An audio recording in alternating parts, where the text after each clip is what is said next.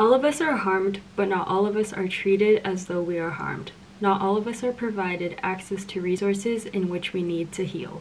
Hello everyone, welcome to my spoken word piece for my Carceral Feminisms, Race, Gender, and State Violence course. I chose a quote from the podcast that was assigned for today's class because I felt that the podcast was material from the course that I could take away and apply outside the class. The podcast includes activists and authors who discuss the opportunities and drawbacks in the search for justice for victims during the Me Too movement. Speakers in this podcast include Erin Cloud, Mariame Kaba, Victoria Law, Denise Tomasini Joshi, and Asha Bandele. Asha Bandele is a writer who has examined the 70s feminist movement as well as the war on drugs movement and discusses how these movements impact women of color. Bandele discusses how historically black women and women of color have been treated differently in society. The law does not work towards helping women of color, and women have yet to be lifted up in movements or have their voices heard in the broader context of society. Bandele mentions the Me Too movement and how all of us can be harmed, but not all of us are treated as though we are harmed. Not all of us are provided access to resources in which we need to heal, and therefore the current resources given will not help women who have suffered physical or sexual violence.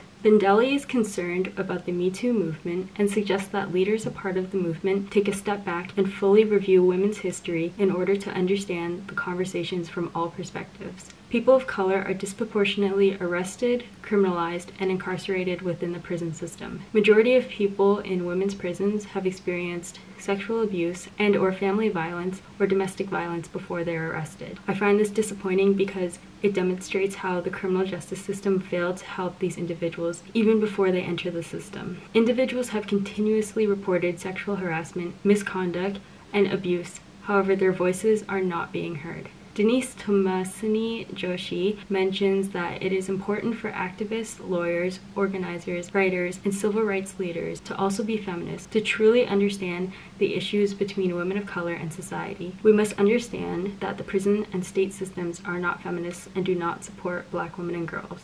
Thank you for listening.